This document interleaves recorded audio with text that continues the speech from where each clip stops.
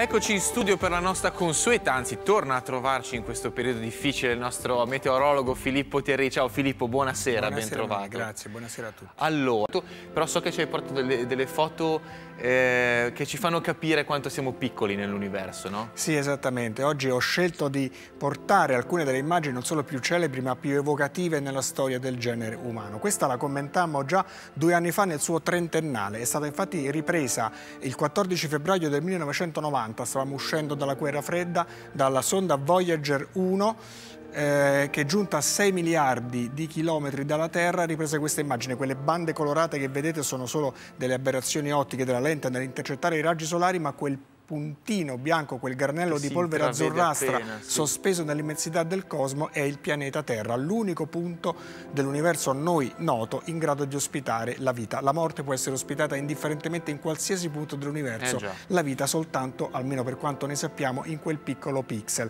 Questa è una rielaborazione che simula la stessa immagine con la risoluzione attuale, fra le tantissime parole che sono state spese in questi 30 anni per spiegare la potenza evocativa di queste immagini.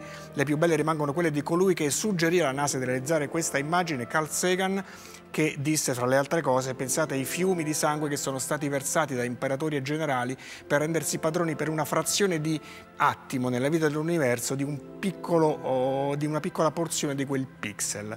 Eh, questa, una, questa, è stata una delle, eh, degli omaggi a quelle immagini realizzate dalla sonda Cassini nell'aprile di cinque anni fa, eh, quelli sono gli anelli di Saturno in primo piano e e aguzzando la vista si vede non solo la Terra ma anche la Luna, quel pixel più piccolo a sinistra. Michael Collins, uno dei tre astronauti dell'Apollo 11, la missione che portò al primo storico sbarco sulla Luna, il pilota del modulo di comando, quindi l'unico essere umano che non compare in questa foto. I suoi due compagni di missione sono lì nel modulo lunare Aquila che sta rientrando dalla superficie della Luna e il resto dell'umanità è lì sullo sfondo. Se chiunque potesse vedere la Terra galleggiare fuori dalla finestra come me scriveva un anno fa, poco prima di morire, Michael Collins, eh, tutti capirebbero che ogni giorno è la giornata della Terra e che la Terra è la cosa più bella e più fragile da proteggere tutti insieme. L'umanità tutta insieme sono le stesse parole praticamente che eh, questo era lo statunitense Collins, ma richiamano quelle che 50 anni prima pronunciò il sovietico Yuri Gagarin.